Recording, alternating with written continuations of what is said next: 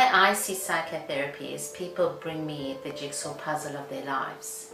And often, you know how when you make a jigsaw and the pieces look like they fit but they actually don't?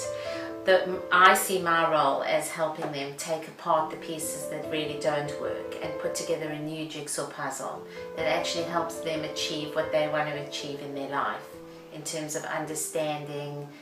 you know who they are, where they fit into themselves, how they fit into relationships, families, parenting, jobs, just situations that they are unclear of how they, they work as a person.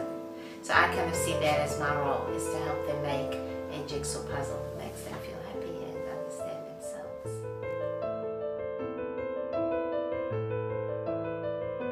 I had to train for, I think it took me 12 years to become a qualified psychotherapist between all my internships and trainings and accreditations and getting licensed in the States. Um, you know, it took a long time to get that um, piece of paper that says, yes, you are qualified to work with people. The difference between coaching and psychotherapy is coaching touches the surface and makes more practical suggestions, whereas therapy actually delves into the root. The, the way I see the difference is therapy delves into the root of the issues that are emotionally based and goes much deeper.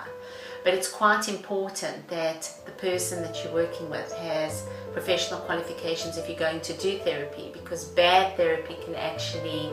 do more harm than good. And you have to make sure that if somebody's a coach that they're not dabbling in the deeper intimacy of therapy because sometimes it's quite difficult to put that back together as a coach when really you need a therapist to put those pieces back together.